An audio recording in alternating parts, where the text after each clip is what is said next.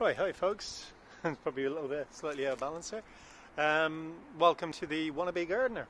Right, this is part two of getting rid of the monstrosity. Um, I forgot last time, obviously I don't have an exterior microphone yet. I will be getting one, so the sound quality will improve. Um, but yeah, we got kind of halfway through this yesterday. Um, now it's uh, try and get through a little bit more. I think it's going to take a little bit longer than I thought. I planned to get out earlier today, but hey ho, it didn't work out. This is my uh, piece of exercise for the day because it is obviously the coronavirus crisis, and um, you know there's incredibly sad stuff going on at the moment. But just trying to keep the spirits up in the light of things that are happening, and trying to get outside for a bit of exercise. Anyway, let's crack on with it. I did put my tools here on the ground so I could find them. Didn't find the gloves again, and actually realised I did get more cuts and scrapes than I realised yesterday. So, oh, and I've got to remember each time I turn away, the sound gets worse. Anyway, so I'm going to crack on. I'm going to try and start leveling away a bit of this section here, and maybe actually get to the base of it and actually use the saw. Wee little tenon saw, because I can't find the other one, obviously, can't find anything at the moment, um, and try and cut it off from there and save myself a whole lot of work. Okay, let's get going.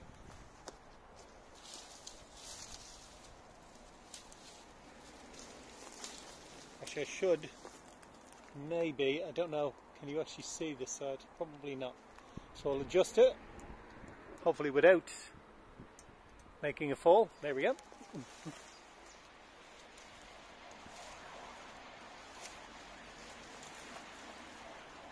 the problem is there's no there's no really big branches. There are all these tiny, tiny little uh, branches, so that's why it's taking so much longer. And I'm burying the saw, so let me not do that. As I said, that's why I call myself the wannabe gardener because it's all a bit new to me. Certainly the outdoor exploits.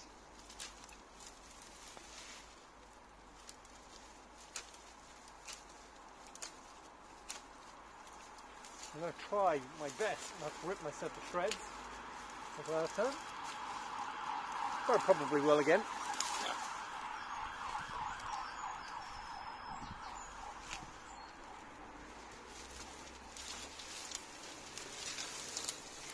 It is actually, I think it's even bigger than I thought it was.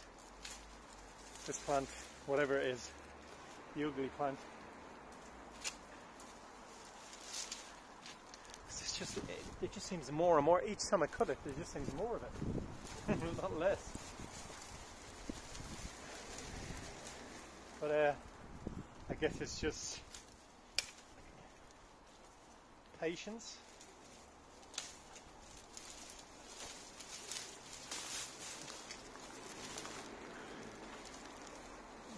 I don't know what you think, but I think awful thing. It's just awful. It's just, I don't know.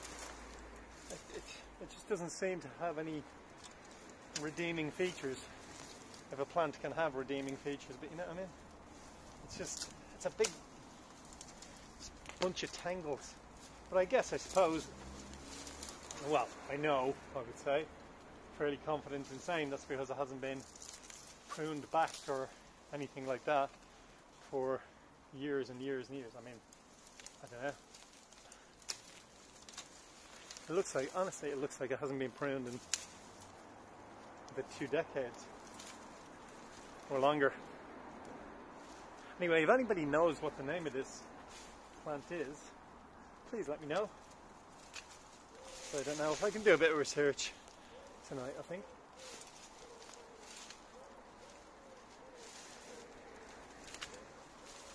Just, as you can see on the inside, when we're getting into the inside, look, it's just, it's kind of like, I don't know. Some of it has got the thickness of hay. Hence the reason why it's going to take probably part two, part three, part four, part five. It also doesn't help the fact that uh, I probably got about an hour of sleep last night, so. So, how would you, if you were doing it, yeah? How would you, as an experienced gardener, if there are experienced gardeners out there, I'm sure there are many. Um, how would you tackle this? You know, so if I'm doing this in future, or certainly with one of the other bushes or trees, if I'm doing it, what's the best way? I can see logic to that one and that one, but hopefully maybe I'll never have one of these again. But it would be nice to know if there is a, an easier way. So I assume by getting to the getting to the base of it would help, but it's very difficult to get to the base when you've got like this. It's just it's impenetrable at the moment anyway.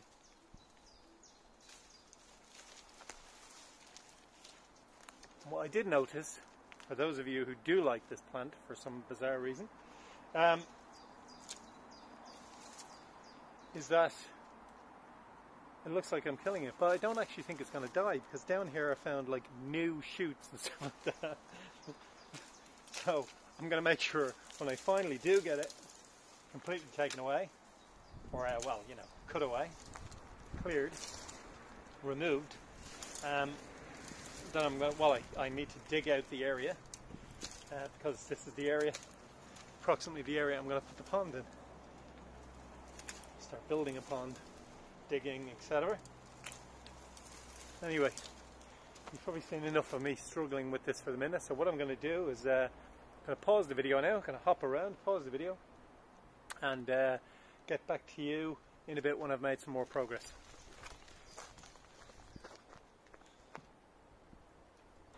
Actually, I've just got to turn it back on again. It's me. Uh, just want to show you here. It's actually growing right over the back of the neighbour's garden. so, you know, it looked like I was halfway through yesterday, but uh, I think that's serious wishful thinking at the moment.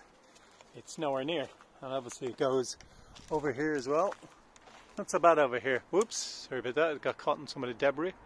Not so bad over here, but it's still quite a substantial beast. But anyway, put this back. Hope you enjoyed the trip around the bush. the ugly bush. And uh, I'll get back to you when I make some more progress. I'm back again for a teeny bit. Now this may seem painfully, painfully obvious to some of you out there. Um, but I noticed there, and this is what it is, it's a bit of a learning process as I go along. So instead of being the wannabe gardener, eventually I'll be a gardener. Or the gardener. Um, yeah, I noticed what I was doing initially, and yesterday, and even today when I started off, was I was just hacking away and bashing and randomly doing it like this, and then pulling and tearing, and you know, pot luck to see if I can get bits out. But what I did there, you'll see, I cut off below, I don't really can see it, obviously, but a lot of just separate little branches. And actually, I've made far, far better progress doing that. I know, again, as I say, I know it might be ridiculously obvious to some, but I've just started to cut them off, and I've already cleared this section, so I've learned something today.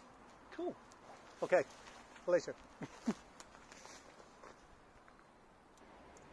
well, I'm back again. Um, I think you'll agree so I've definitely made some, uh, some progress here. So I'm very happy about that. A few things to report. Um, this is the tree, or whatever it is next to it. Um, I cut a couple of the branches off because they were just mashed in between this monstrosity here and that one there. Uh, so I cut a couple of them off and then I was looking, I was like, what is this tree? I recognise the bark on it. It's like this paper bark. Uh, then I found this. And to me, with my limited botanical knowledge, uh, that looks like a fuchsia, I think. Um, so if you know what that is, please let me know. I think it's a fuchsia. And I checked the leaves. These leaves are bigger but those leaves are smaller. Um, but they are the same leaf with a, a, spiky edge to it, but a soft spiky edge. It's not like they're not like they wouldn't uh, they wouldn't damage you in any way. So I think it's fuchsia, but I've definitely seen that flower, that hanging little bud before. So anyway, that's that. That's the first thing. Oops, my cat enjoying the video. As per usual. Um, ah, let me move it so you can see. And I found this. Nothing spectacular. It's some sort of table platform. Is that a riddle? If it is a riddle, the holes are very big, or is it just part of something else, or is it just some weird sort of garden table? I don't know. Anyway, so let me give you a 360 view. I've certainly, I was going to say hacked into it, but I haven't actually hacked into it. I've just done it very methodically. And as I said, my new method, um, which is to uh, just cut off branch by branch by branch, and it certainly allowed me to get into it far more quickly. Now, I've had to stop work. I was going to continue work. I don't really continue. I was going to continue work on it and just kind of try and bash it down and do this in like three, four parts. Uh, but I have a problem, a kind of beautiful problem, um, but also a sad problem as well. Uh, when I was cutting through it, thankfully I wasn't hacking away like I was yesterday. But when I was um, cutting away delicately at each branch and pulling them away, uh, I uncovered something. Um, I'll show you, but I've left it. I've left it as covered as I can. Where you can let me try and get in here. I don't want to disturb it, but I think if you can see there, it's probably very difficult to see. I don't know if you can. There it is, there hiding in there. It's there, right there. But I've, I've kept it covered um, now I was very close to it a number of times and that's what worries me so I'm going to take the camera back.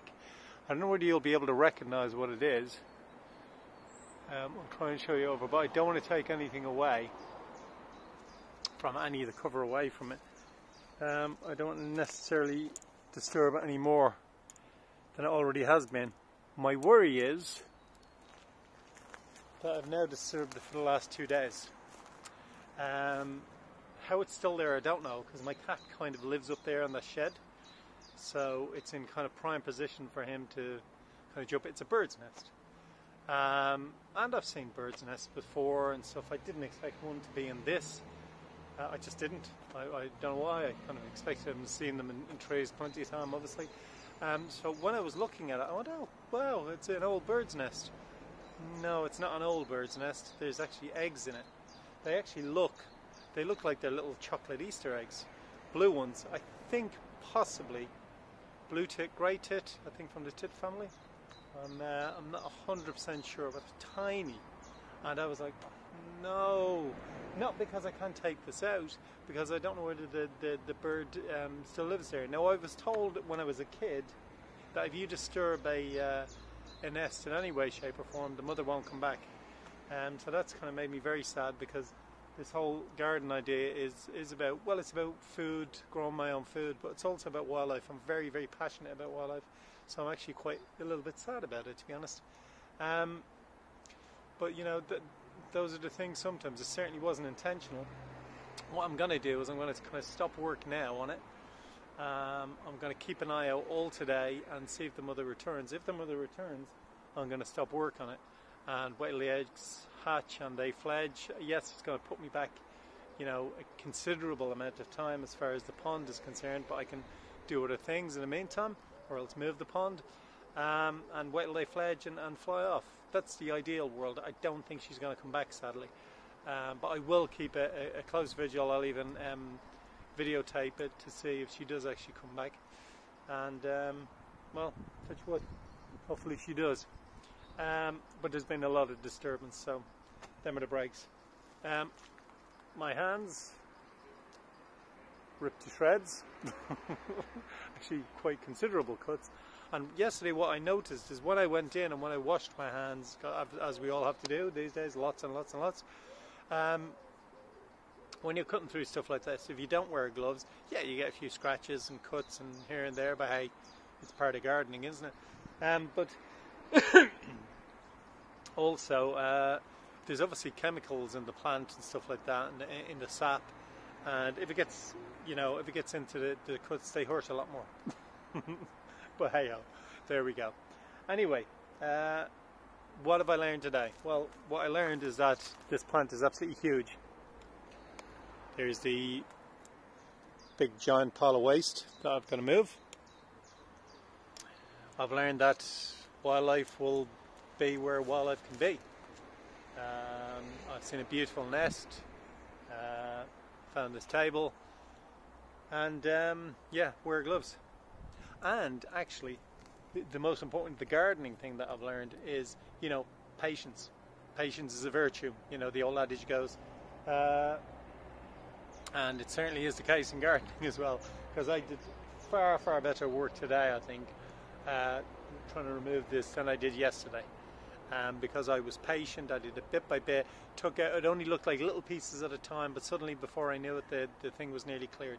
Anyway, on that point, what I'm going to do is I'm going to do the tidying up, um, and I am going to try and film or try to move away from here and see if the uh, if the, the, the bird or the, the, the mummy bird comes back um, to uh, to take care of our eggs. We'll see. Anyway, I'll keep you updated. In the meantime, this is the um, the wannabe gardener, and uh, I hope you've enjoyed the video. If you have, um, I invite you to subscribe. Uh, this will be video number two only. Um, and yeah, comment. Let me know. Let me know what you think. You know how I'm doing, what I could do better, etc. If you've got any hints, tips, if you'd like to ask any questions. I know about wildlife, not so much about gardening, obviously. But uh, yeah, it's been uh, it's been lovely again. So let me go do the tidying up, and um, I'll speak to you in part tr- three, three, not three, part three. anyway, take care, everybody. In the meantime, and um, you know, I hope everybody's keeping safe because of coronavirus. Yep, take care, and see you next time. Bye.